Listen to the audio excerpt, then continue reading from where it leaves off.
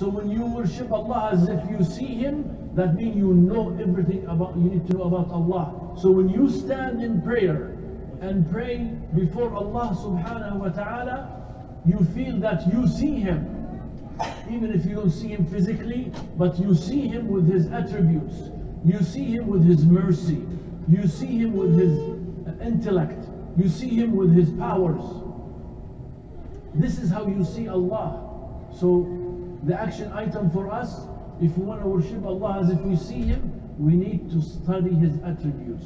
We need to learn about Allah subhanahu wa ta'ala, learn about your Creator. So when you worship Him, you worship Him as if you see Him. I might be talking to someone over the phone I've never seen. I will have different perspective than if I talk with someone over the phone. I know him well. You see how I'm trying to give you the analogy. So worship Allah as if you see Him. It is the area where you need to learn who is your Creator, who Allah is. And you worship Allah subhanahu wa ta'ala as if He sees you. That means you start making ikhlas with your a'mal. Remember I said, if you enter to the circle of Iman and then you see the, you start feeling the presence of Allah in your life, you start, Allah is monitoring you. What happens when Allah monitor you? Or you, when you know He's monitoring you? Wallahi, we will not say anything that is bad. We will not do anything that is displeasing because we, we, we see that He is watching over me. Then we become more sincere of our action. It's I'll give you an analogy. When my when my kids were young, they're older now. When I said I want to see how you pray, so he will perfect his prayer because I'm watching him. I want to critique him. But when I'm not looking, he probably should do it quickly. Imagine every time before you pray, you say you remind yourself Allah is going to watch you. So let me do my prayer correctly. And what is the beginning action of the prayer is wudu.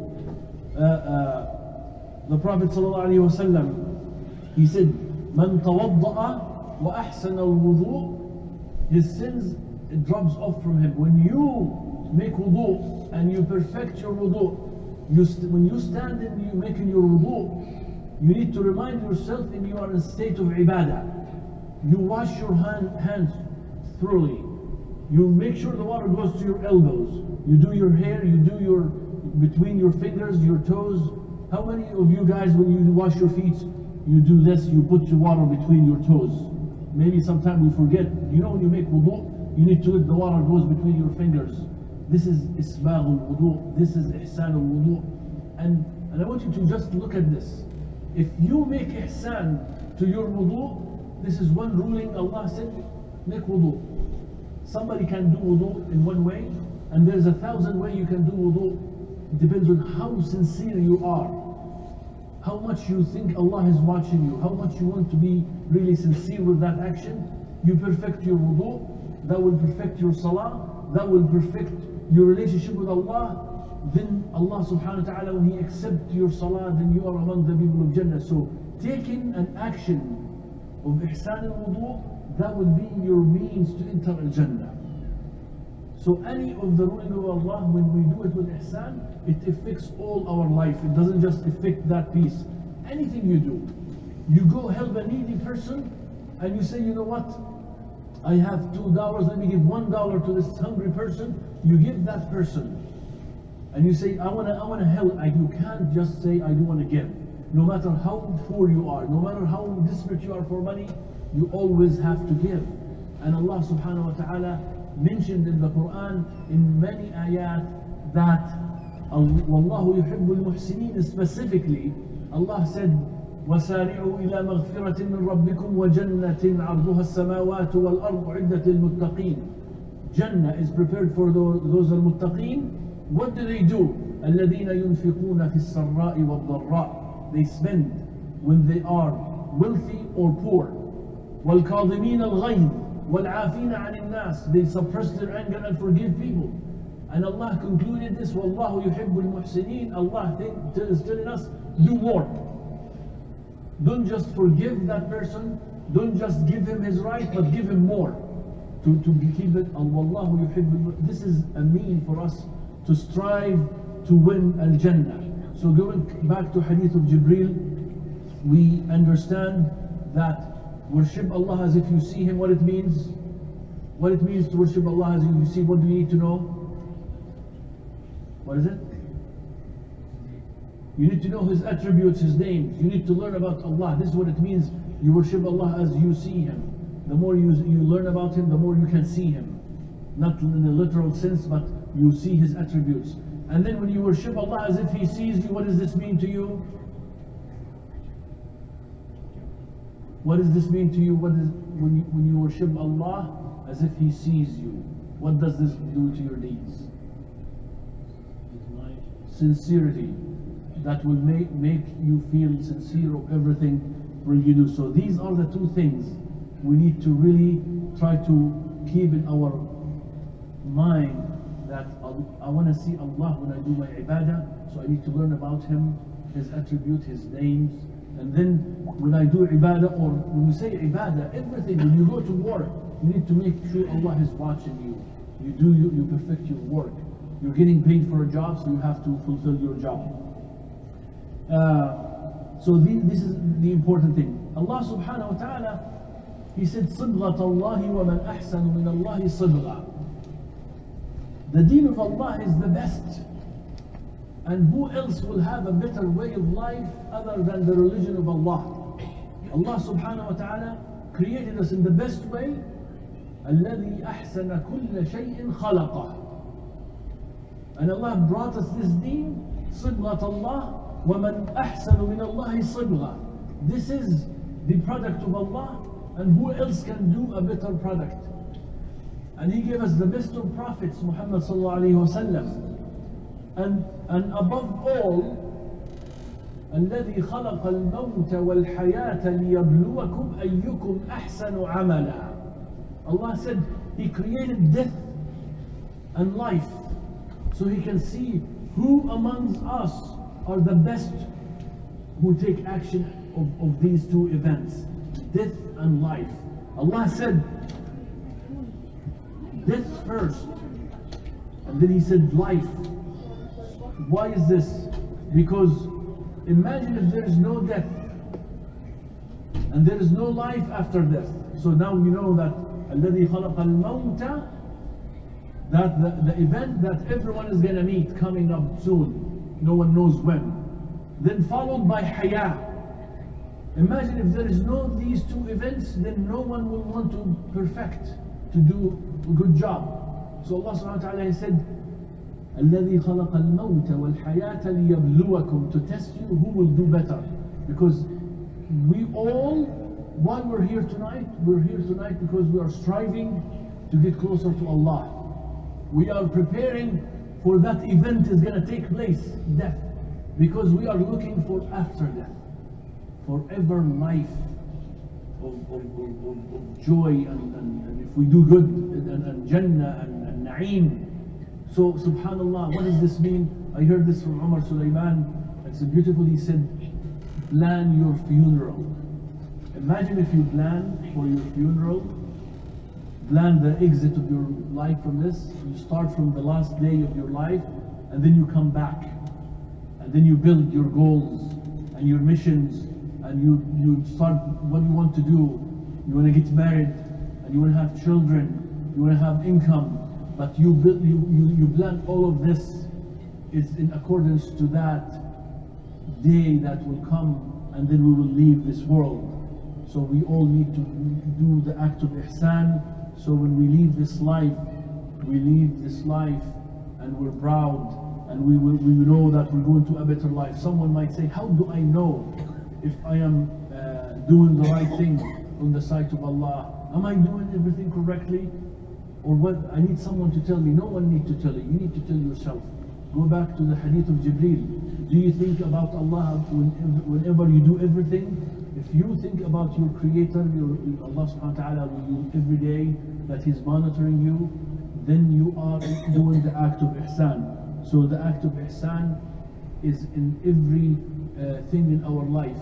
Allah subhanahu wa ta'ala in a hadith, He said, إِنَّ اللَّهَ كتب الإحسان في كل شيء Allah prescribed ihsan on everything everything in your life Allah expects you to do ihsan so uh, when, when, when you speak, Allah wants you to speak with ihsan.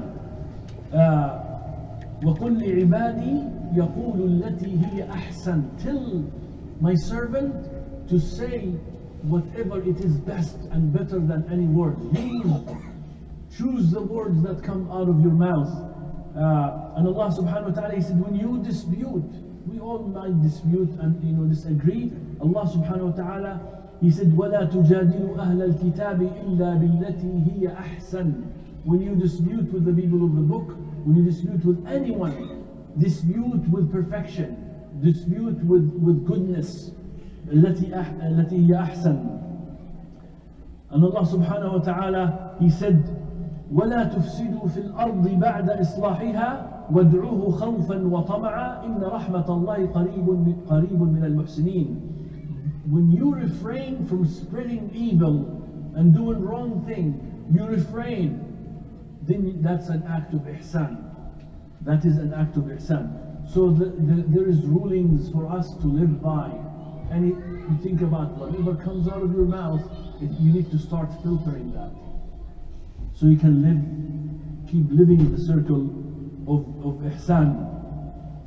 So you don't want to be, be caught after you die and you, you, you then you say uh, أو تقول حين ترى العذاب لو أن لو أن لي كرة فأكون من المحسنين and when you go to Allah and when you return to Allah and when you see that your your your your uh, next life is not pleasant to you then you say oh Allah I wished if I, I, I was among the muhsineen.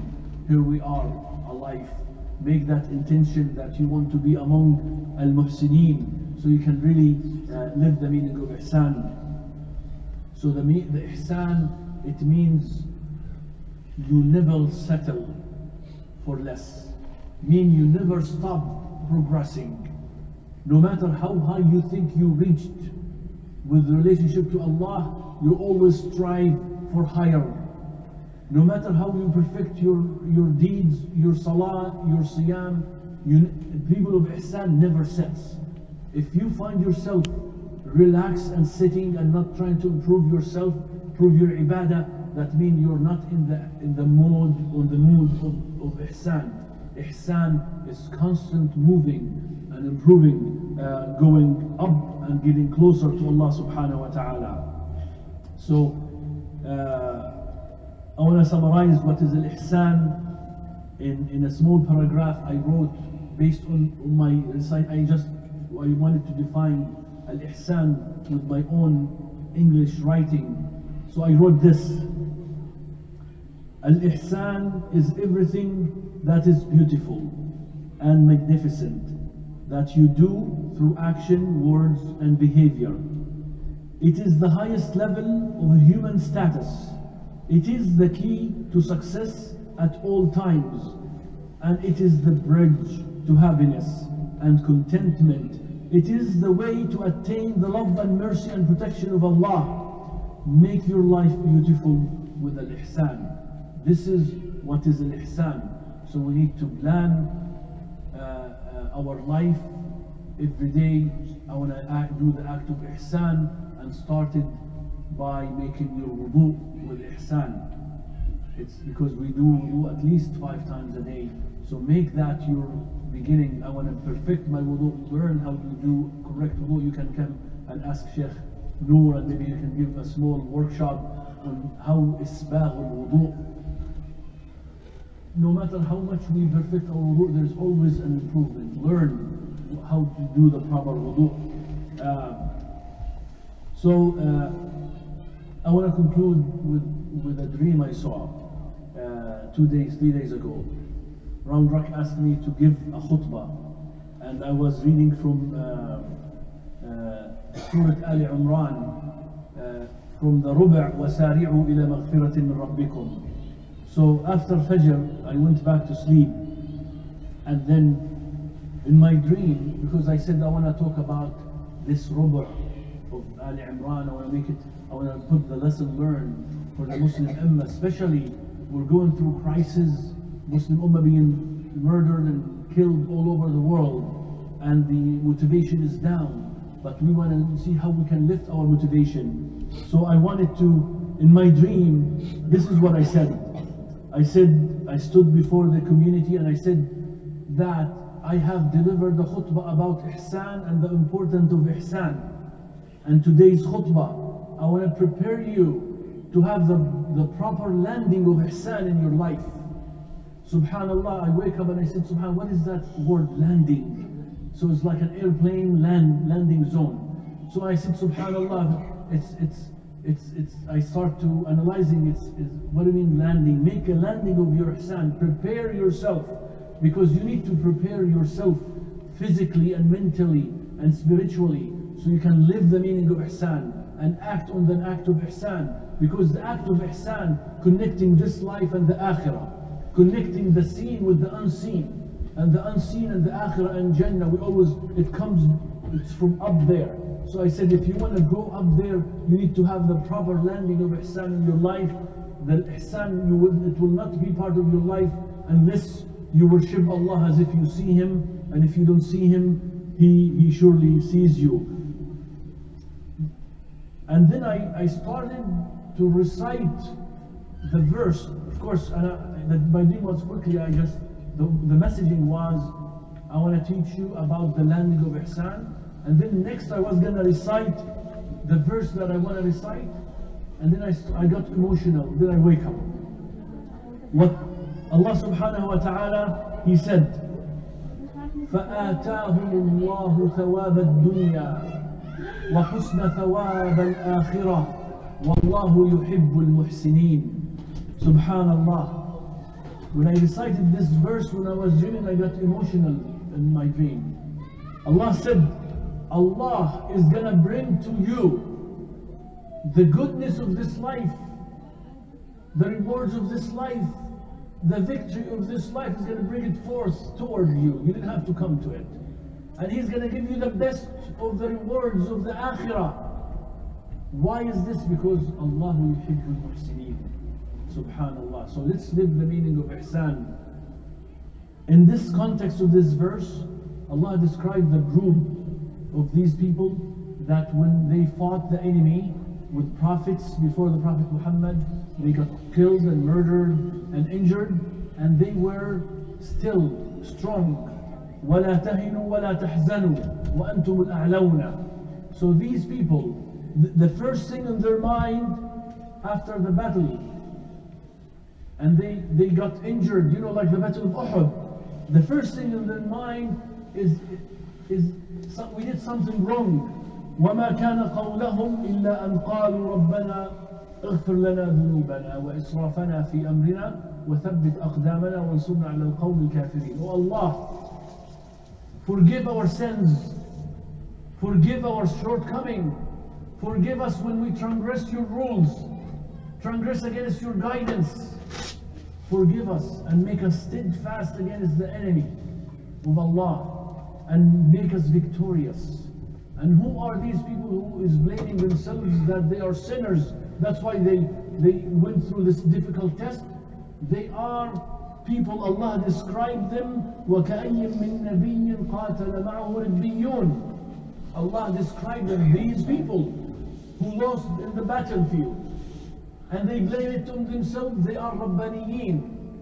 ولكن كونوا ربانيين بما كنتم تعلمون الكتاب وبما كنتم تدرسون those Rabbaniyin, they are the people who study the book of Allah and follow the guidance of Allah. And who were their leaders? Prophets. Nabiyin. Imagine prophets train and raise these uh, companions and when they lose the battle, the first thing they blame, they blame themselves. They ask Allah for forgiveness. So last action item for us, ask Allah subhanahu wa ta'ala for forgiveness so you can improve your status improve your situation. I ask Allah subhanahu wa ta'ala to make us among the people who will listen to the advice and follow it and make us among the muhsineen. So I'll stop right now. There is a lot to talk about. I picked up a few things. Hopefully we take home tonight and teach it to our family and kids to live the meaning of ihsan in every day of our life. Everything comes out in our mind. When you are about to fight and dispute with someone, remember Allah told you dispute with ihsan. Jazakumullah khair.